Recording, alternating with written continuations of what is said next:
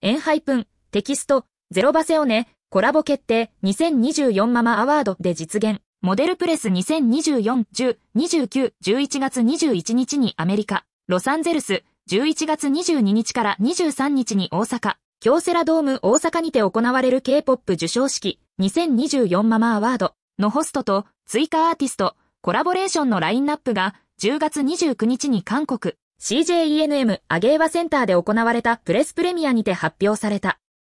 Big Blur、What Is Real を今年のコンセプトに掲げた2024 MAMA Awards は、時空を超えたリレー中継と長年培ってきた先端技術力を総動員する見通しだ。バーチャルアイドルグループ、 PLAVE、プレイブは初の MAMA Awards のステージに立ち、4時と一緒に時空を超えたスペシャルコラボレーションステージを披露する。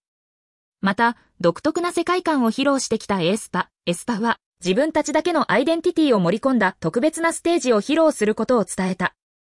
それだけでなく、 ENHYPEN、ENHYPEN、 TOMORROW X TOGETHER、TOMORROW X TOGETHER、 ZEROBASEONE、ZEROBASEONE が参加するジャンルの境界を超えたコラボレーションステージも予告。昨年、ママならではの視線で独創的な要素を取り入れた差別化されたステージを披露した MAMA Awards は、今年もテーマ、メガ、ワンダーステージなど、スーパーボールのハーフタイムショーのように象徴的なステージを披露することが期待される。テーマステージでは、トゥモロー X トゥギャザーのいるじゃん、4順、が各種ロボットとのコラボ舞台を通じてオープニングステージを飾る予定だ。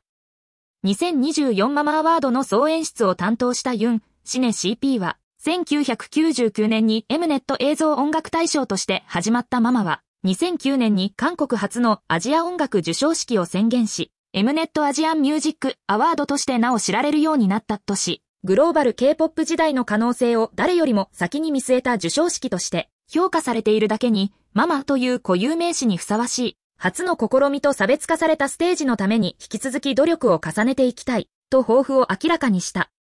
舞台デザインを担当しているの、ミレ美術監督は、ステージシミュレーションイメージとともに、超現実と神話を行き来する気、世界中をステージデザインのモチーフに取り入れ、大阪の京セラドーム大阪に360度センターステージを作り、強烈で斬新な視覚的メッセージを伝える予定と伝えた。